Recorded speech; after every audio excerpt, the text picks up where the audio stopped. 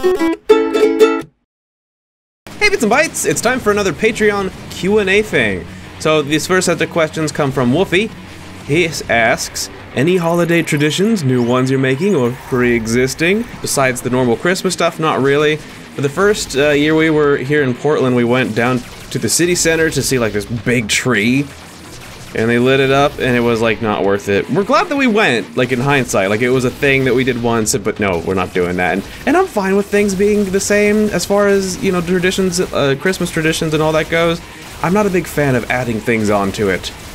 You'll, you'll have to pardon me, I'm like so tired right now. I don't know why.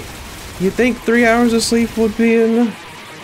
Halloween, Tenorio introduced Lily to something called the Switch Witch. And the Switch Witch is this thing where, like, you get your candy, or I guess on Halloween, you get your candy. The, before you go to bed, you leave some candy out on your doorstep. And then this Switch Witch comes around with her big old bucket and a cat and takes the candy to feed her cat with. That cat's not going to live very long, but the, the point, the important fact here is, is that she then gives you a present on Halloween.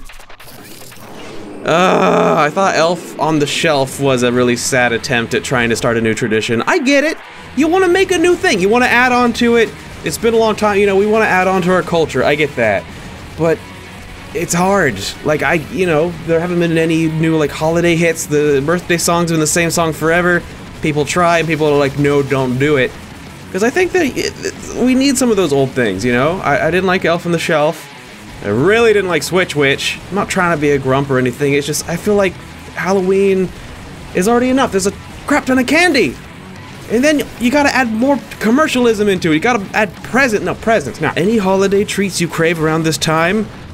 Um, growing up, our tradition was just to make sugar cookies with icing. You know, just like simple, different colors. Make, put it on there, throw on some sprinkles, and then eat them all. Oh man, it's so good. I have to resist this year a little more because, as I mentioned in one of our Super Mario Maker videos, which I don't remember which one it was, Eric, do you know? Yeah, in the fall, when fall started, Tenorio suddenly started making like a million billion types of like sweet treat of delicious things, and we both gained like so much weight, so I spent all of my Christmas treat rations in fall. I gotta get back, I, I can't lose too much of my figure. Any games or movies, etc., that you're looking forward to in the coming months? Uh, Fallout 4, I know, in internet years it's been out for like decades, but you know, Tenorio and I were, are waiting. We're waiting for Christmas. We're usually really bad about it. I'm embarrassed to admit that for the last like five years, well, since we've been together like six, however years, like the end of November happens, and I'm like, I have one bad day, and I'm like, Tenorio, I had a really crap day. Can I open the thing we're supposed to save till Christmas? And she's like, no. And I'm like, but. And then she's like, okay. And I'm like, Nyeh. And then I feel horrible because then it like takes away the specialness of Christmas. I know. It's sacrilege. But don't act like your shoes are clean. You know, I bet we could find some stuff on your shoes. But this year we're doing it, okay? And as for why we're getting it on the console, I didn't say that we're getting it on PS4. We're getting a PS4 this year finally. Finally, there are enough games on the PS4 to where I kind of feel like maybe getting one.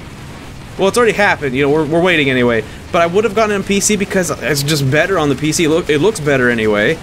But my computer's always being used for work, and uh, it's just convenient to have a console. Like last night, I was sitting on the couch with Tenorio, and I'm just like tired because you know I had a full day. I've just finished this like super secret project that I've been working a side project on top of the stuff I normally do. So I was like, I just finished doing like the eighth 12-hour work day in a row, and I was just tired. And I wanted to play Downwell, which I just got, and I'm going to do a let's play of soon. And I'm sitting on the couch, and I'm like, Tenorio, uh, I need to get up, get the stool over here, put the laptop on the stool, get the USB wireless dongle in there, get a controller, sync it to the dongle, load up the Steam Big Picture mode, then play. You know, I don't want to. I don't want to do that. That's the reason consoles will still survive and still are doing quite well.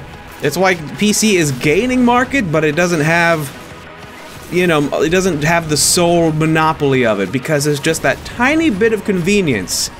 Judge me all you like, but I'm a demographic, dang it. These next set of questions come from Lave He asks, did you get that thing I sent you? I actually tried to go to my P.O. box today and check it, But when I pulled in, I almost got in a wreck because all the parking spots were taken up and there were like three people, four people like backed up so far out to where when you try to turn into the friggin' place, you can't. You just stuck there in the road right off the friggin'. Uh, I try.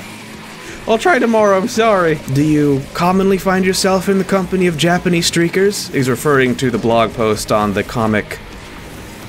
What was the comic called? Sealed Paint? No.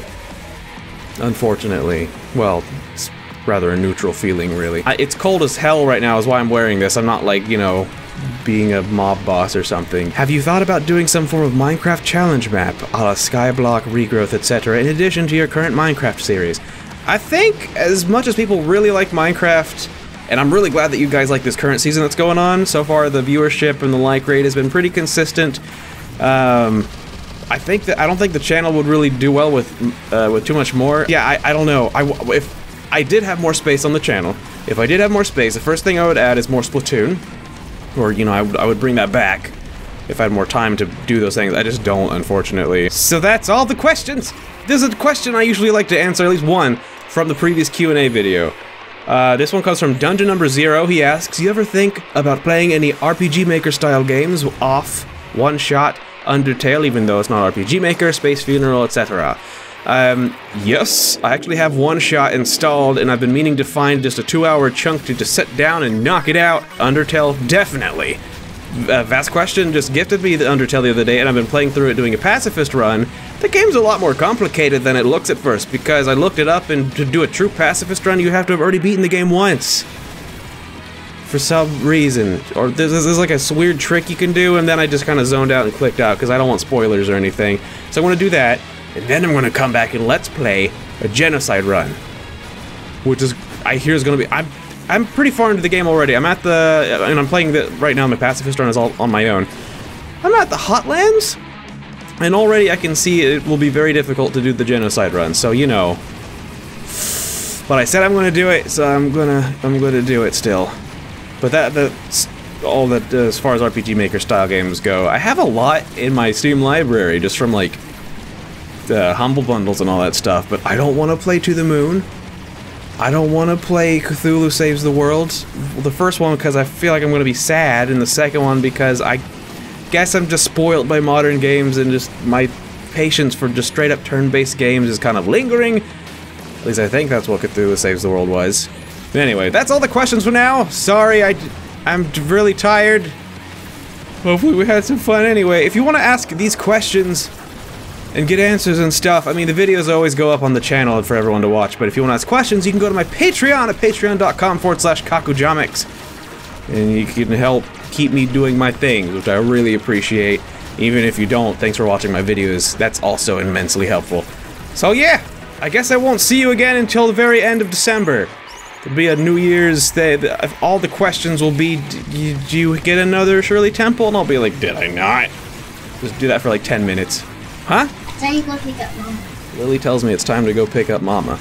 So yeah, I'm gonna go. Thanks for watching! Bye!